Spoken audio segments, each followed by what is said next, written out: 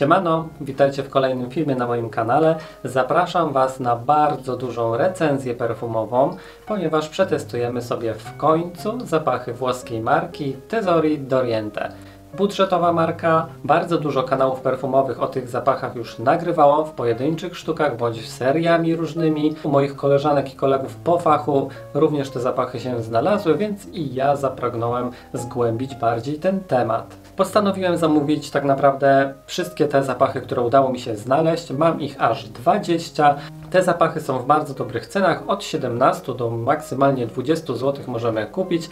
Ja jeszcze oczywiście to kupiłem z jakimiś rabatami dodatkowymi, więc wyszło mi mniej więcej 17 zł za buteleczkę, więc zdecydowałem się zakupić wszystkie te zapachy, aby mieć ogląd i przetestować co tak naprawdę marka włoska nam ma tu do zaoferowania. Film ten będzie w dwóch częściach. W pierwszej części mówimy sobie 10 zapachów, w drugiej części drugie 10. Tak, aby filmy nie trwały zbyt długo, ja i tak czy siak postaram się zagęszczać ruchy, żeby za dużo o tych zapachach się nie rozgadywać. Przygotowałem sobie listę składników, przygotowałem sobie również to, do jakich zapachów niektóre z nich są podobne. Większość tych zapachów flagowych znam, więc będę sprawdzać, czy faktycznie coś mają wspólnego z tymi już dostępnymi długo na rynku. Więc jeżeli temat i analiza zapachów Tesori Doriente Was interesuje, to zachęcam aby zostać ze mną dalej w tym filmie, jak i w następnym. Polecimy sobie alfabetycznie i zaczniemy od pierwszego zapachu Egiptus. Bardzo mnie ten zapach ciekawi, tym bardziej, że od zawsze miałem fazę na starożytny Egipt. Jak byłem mniejszy, grałem w taką grę jak Faraon czy Kleopatra. Bardzo lubiłem tego typu gry. Bardzo interesowała mnie kultura i ogólnie historia starożytnego Egiptu, więc jakże mógłby ten zapach się nie znaleźć w mojej kolekcji. Jestem ciekawy, jak on pachnie, także zaczynamy od Egiptusa. I tak, w nucie głowy znajdziemy nuty owocowe ilang ilang, nuty zielone i bergamotkę, nuta serca to przyprawy, nymfejda, irys, papirus, jaśmin i róża, nuta bazy to nuty pudrowe, nuty orientalne, piżmo i nuty drzewne. I ten zapach według Fragrantiki jest podobny do zapachu od marki L'Occitane Eau de Cad. Ja niestety nie znam tego zapachu, ale myślę, że kiedyś z ciekawości, jak będę gdzieś w jakiejś galerii, zajdę do L'Occitane, aby zobaczyć, czy w ogóle ten zapach jeszcze tam się znajduje i zobaczę, czy faktycznie jest do niego podobny. Mam tu luksusowe blotery w postaci papieru toaletowego, który najlepiej się sprawdza, ponieważ bardzo dobrze wchłania zapachy i my lecimy z pierwszym zapachem Egiptus. Ja już mam go w nowym opakowaniu. Starsze opakowanie bardziej mi się podobało, ponieważ było złote z niebieską etykietą, a tu mamy na odwrót. Tu mamy niebieską butelkę ze złotą etykietą. Pokażę Wam z bliska, jak ten zapach wygląda. Bardzo tak sympatycznie. W ogóle te opakowania są moim zdaniem jak na tę cenę bardzo porządnie wykonane, tym bardziej, że właśnie Egiptus ma tłoczone tutaj te hieroglify. Nie wiem czy to zobaczycie, ale fajne tutaj są właśnie takie tłoczone hieroglify. Taka dezodorantowa nuta z nich wychodzi. Wiecie co, też chodzi o to, że no nie mamy co tutaj za bardzo się spodziewać. Nie wiadomo jak super jakości, czy i nie wiadomo jak eleganckich, czy niszowych zapachów. Są to jednak zapachy za 17 zł. Bardzo świeży, bardzo taki aromatyczny, praniowy bym nawet powiedział. Bardzo orzeźwiający. Spodziewałem się bardziej ciepłego zapachu, ale muszę przyznać, że i tak czy siak jest bardzo ciekawy.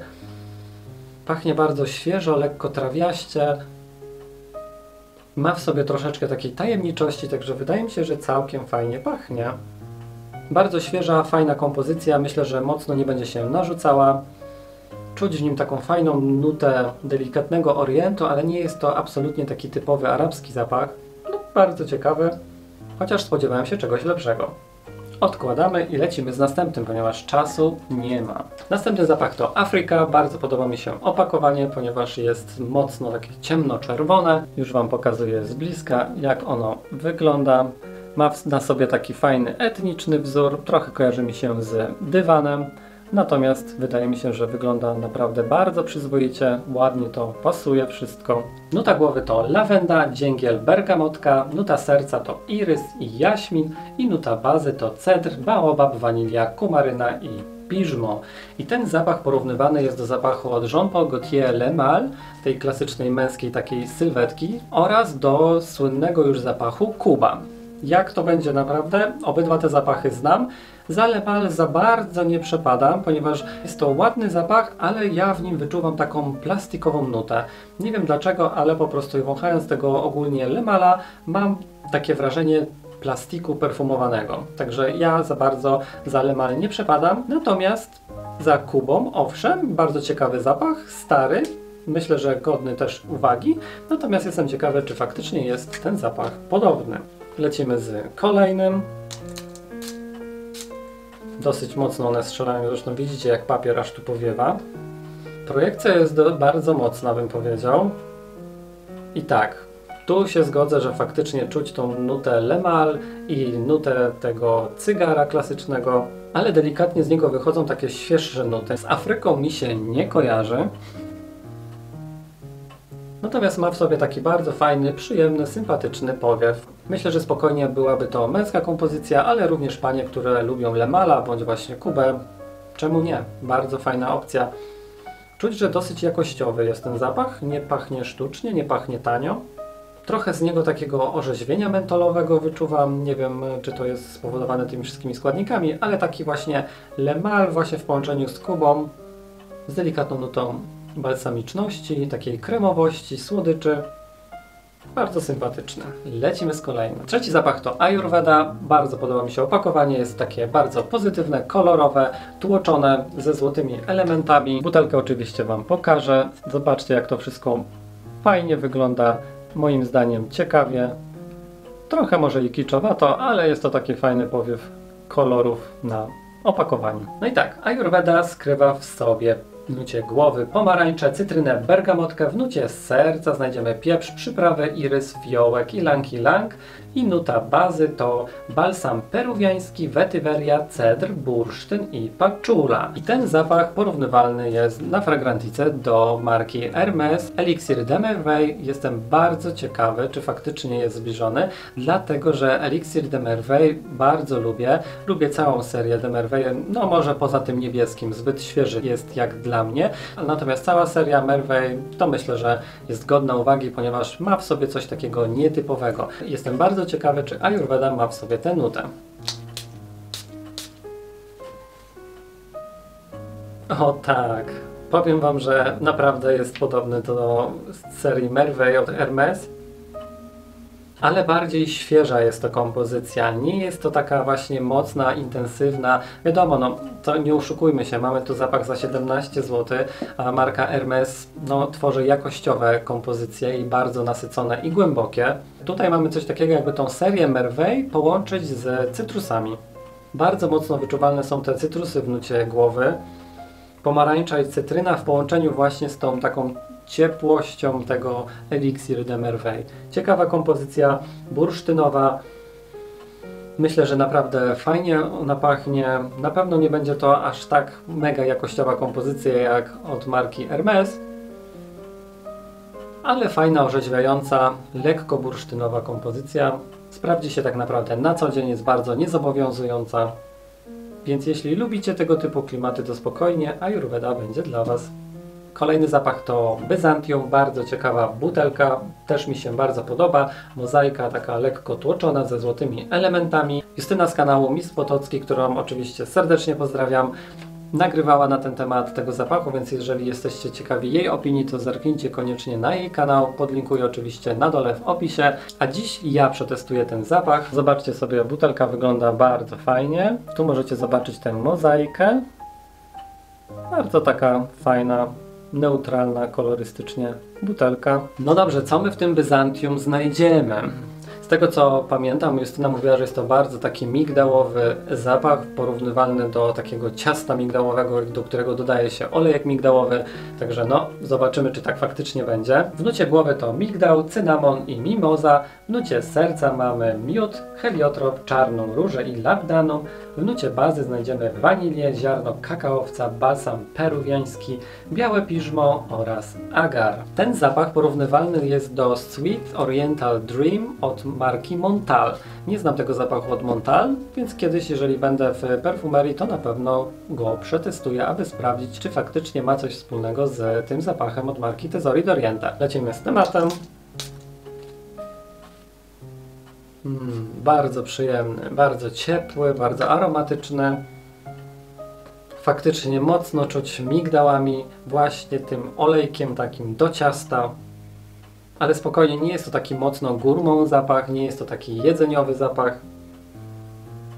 Czuć w nim oczywiście również ten cynamon w połączeniu z tymi migdałami. Naprawdę bardzo ciekawie to wszystko pachnie.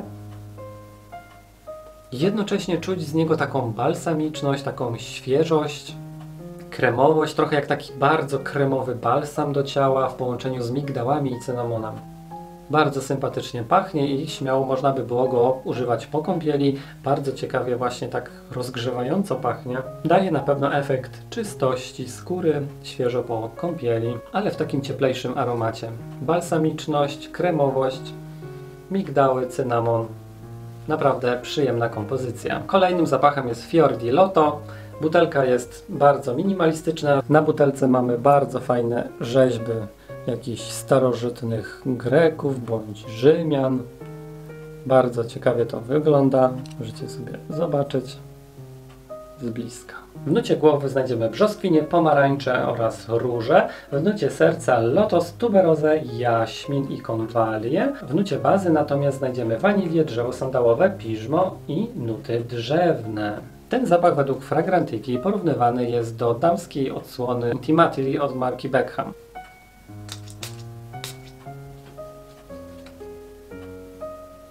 Bardzo owocowo na samym początku. Taka owocowa świeżość. Z czymś już mi się ten zapach kojarzy. I muszę Wam powiedzieć, że pierwsze co, jak powąchałem, to od razu mi się skojarzył Wrocław. Moje początki we Wrocławiu. Nie wiem, czy przypadkiem jakiegoś takiego żelu pod prysznic z marki Axe kiedyś nie miałem, który właśnie pachniał w ten sposób. Lekko tak drzewnie, lekko kwiatowo, lekko waniliowo. Też by nadał się do tych zapachów tak zwanych pokąpielowych. Pachnie bardzo taką świeżością i czystością. Lekka tuberoza z wanilią, to tak powiedział. Nie jest to taka ciężka, mocna tuberoza, ale delikatnie gdzieś tam ją wyczuwam. W połączeniu z wanilią i taką świeżością. Z tego co mi się wydaje, marka Tesori Doriente jak na razie produkuje te zapachy takie właśnie, jak ja to mówię, balsamowe, orzeźwiające, takie, które dają taki efekt drogiego balsamu do ciała, że może nie pachną jak takie super perfumy, ponieważ jakby mi ktoś dał to na przykład ten zapach Fior di Lotto do powąchania, to czuć w nim po prostu zapach takiego fajnego balsamu, bardzo przyjemnie pachnącego, natomiast kompletnie bym nie powiedział, że są to perfumy. Na skórze pewnie oczywiście pachną inaczej, natomiast tak tu na papierze pachną tak bardzo balsamowo, orzeźwiająco, lekko tuberozowo, waniliowo. Na pewno jest to również taka świeża, kwiatowa kompozycja. No i kolejny dosyć mocno rozsławiony zapach, czyli Fiore del Dragone. Zapach mocno porównywalny do Hypnotic Poison od Diora, czy Hypnotic Poison, różnie ludzie mówią. Jestem bardzo ciekawy, ponieważ Hypnotic Poison bardzo dobrze znam, więc będę mieć porównanie, czy faktycznie jest podobne. Rzut okiem na butelkę, cała czerwona, wygląda sympatycznie ogniście, krwiście. Nuta głowy to migdał, pitaya, morela. Nuta serca to jaśmin, tuberoza, ilang, ilang oraz kwiat pomarańczy. W nucie bazy wanilia, drzewo sandałowe, bursztyn i piżmo.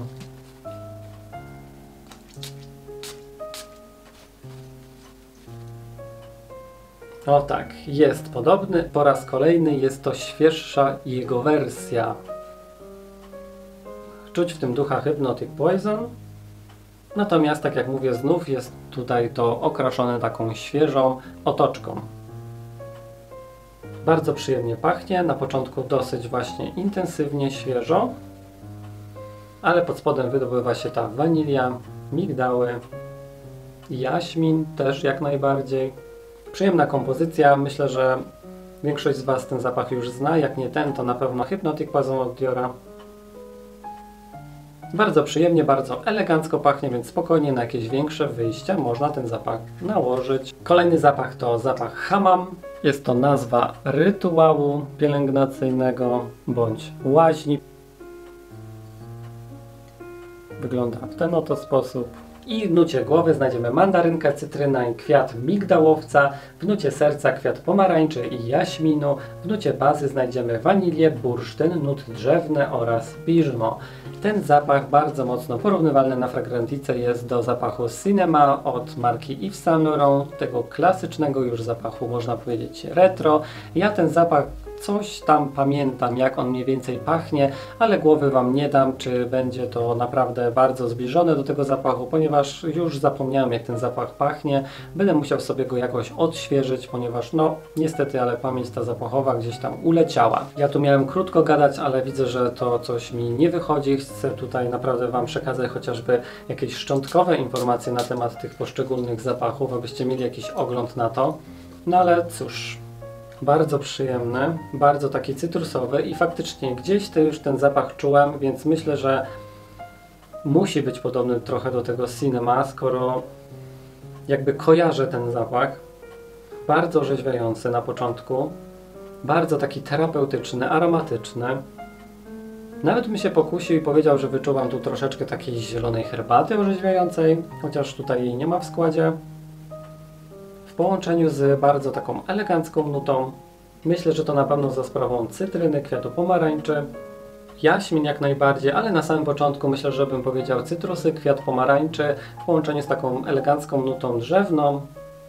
Bardzo sympatyczny zapach, naprawdę myślę, że spokojnie na takie wakacje gdzieś w ciepłych krajach jak najbardziej się nada, jeżeli będziecie chcieli orzeźwienia.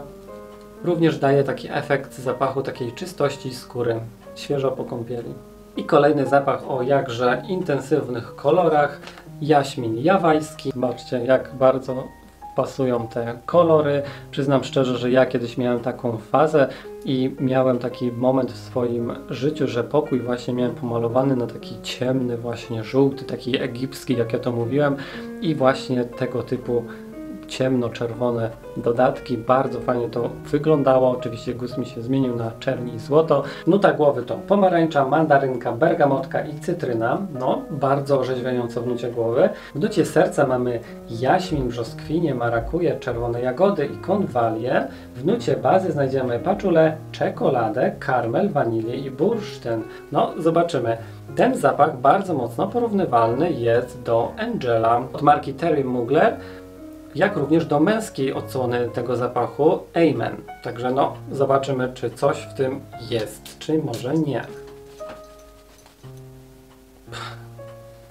No, powiem Wam, Amen zmieszany z Angelem klasycznym ponieważ w Eimenie jest taka mocno cukrowa nuta palona wręcz, bym nawet powiedział. On ma taki bardzo specyficzny zapach Eimen. Ma tą nutę takiego Angela w połączeniu z właśnie takim czymś palonym, palonym cukrem, przypalonym cukrem, karmelem.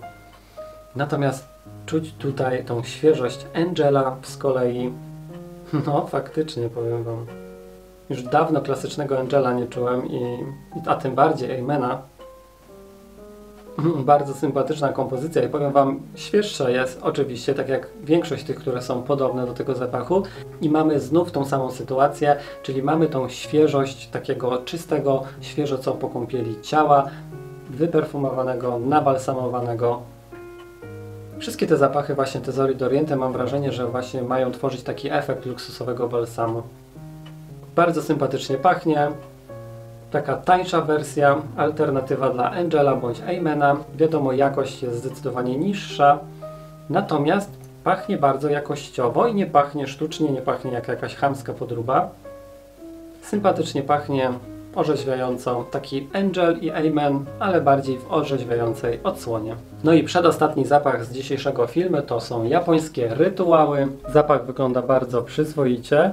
Mamy tu ciekawe wzory, możecie zobaczyć. One są również takie błyszczące. Butelka czarna. Wygląda super. Nuta głowy to piwonia, cytrusy, kamelia, grapefruit, bergamotka. Nuta serca to róża, frezja, osmantus, konwalia oraz jaśmin. I w nucie bazy znajdziemy paczulę piżmo cedr. Ten zapach porównywalny jest do zielonej wersji Chloe Loud Chloe oraz do tej klasycznej Chloe Eau de Parfum. Oba zapachy bardzo dobrze znam, więc jestem ciekawy, czy faktycznie mają coś z tym wspólnego. O tak, faktycznie. Jest to taka bardzo charakterystyczna, mydlana, lekko pudrowa nuta właśnie Chloe, ale delikatnie coś podbija nuta taka lekko retro. Bardzo delikatnie, spokojnie, nie- jeżeli nie lubicie retro zapachu, to wy myślę tego nie wyczujecie. Natomiast to bardzo świeża, bardzo zielona kompozycja, bardzo taka pudrowo-kwiatowa, aromatyczna i myślę, że spokojnie można znaleźć tu porównania do Chloe. Bardzo praniowo, bardzo orzeźwiająco, zresztą jak sama Chloe właśnie pachnie w ten sposób, tak orzeźwiająco, jednocześnie pudrowo, jednocześnie praniowo. Myślę, że spoko kompozycja dla miłośników Chloe. No i ostatni zapach na dziś, czyli Legano di Guayaco, drzewo gwajakowe. Butelka wygląda naprawdę przyzwoicie, ciemno-brązowa, z taką skórzaną otoczką. Jest to zapach dedykowany dla mężczyzn, natomiast myślę, że spokojnie panie, jeżeli, jeżeli lubią coś takiego intensywniejszego, to jak najbardziej jestem na tak. W nucie głowy znajdziemy bergamotkę, neroli, pomarańcze oraz mandarynkę. W nucie serca znajdziemy drzewo gwajakowe, czarny pieprz, kardamon, lawendę, estragon oraz szałwię. Bardzo roślinnie się tu zapowiada nam. W nucie bazy znajdziemy drzewo sandałowe, fasolę tonka, cedr, tytoń, kumarynę, irys oraz piżmo. I ten zapach porównywalny jest m.in. do marki Alexander J. do zapachu Argentic. Mogliście zobaczyć serię Alexander J u mnie na kanale, jeżeli nie to oczywiście kliknijcie, zobaczcie. Będzie to myślę taka kadzidlaną, mocno vetiverowa kompozycja, bardzo ziołowa, jak również zapach jest porównywalny do jednego zapachu od marki Joe Malone, Dark Amber i Ginger Lily. Jestem ciekawy, czy faktycznie, ponieważ Joe Malone znam, Argentic znam, więc jak najbardziej lecimy z testami.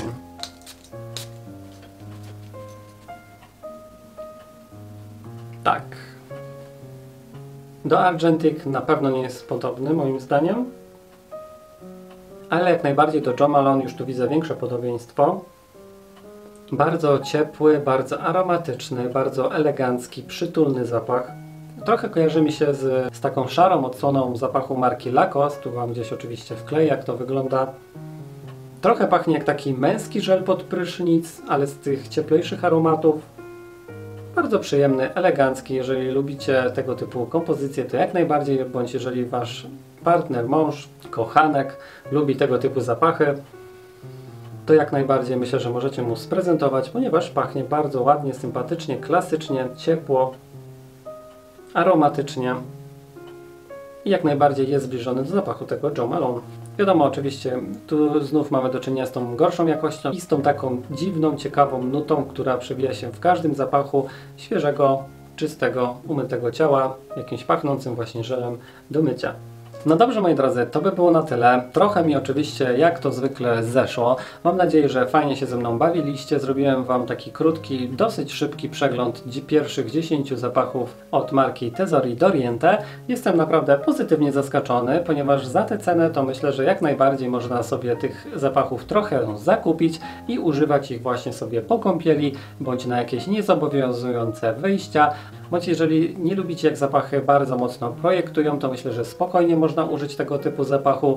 Będziecie naprawdę z nich zadowoleni, ponieważ jak na tę cenę pachną naprawdę bardzo fajnie, jakościowo. Bardzo mi się to podoba, ponieważ te marki zagraniczne potrafią stworzyć coś takiego fajnego, które jest dobrej jakości, w fajnych pieniądzach. Wiadomo, że nie jest to szczyt perfumiarstwa, natomiast jest taka bardzo przyzwoita jakość, myślę, tych zapachów, więc jak najbardziej, jeżeli jesteście zainteresowani, to spokojnie myślę, że wbijajcie na sklepy i kupujcie, bo myślę, że po prostu warto. Dajcie koniecznie znać w komentarzach, czy znacie zapachy marki Tesori Doriente, czy już może używaliście któryś z tych zapachów. Jeżeli nie, to napiszcie, które Wam się najbardziej tu spodobały podczas mojego mówienia. Będzie mi bardzo miło czytać tego typu komentarze, także zapraszam do komentowania. No i oczywiście standardowo, jeżeli film się podobał, to dajmy łapę w górę, klikamy subskrypcję na dole, aby być z moimi filmami na bieżąco. Ja Wam życzę cudownego dnia bądź wieczoru, w zależności od pory, w której to oglądacie i widzimy się w kolejnym filmie. Także na razie i cześć!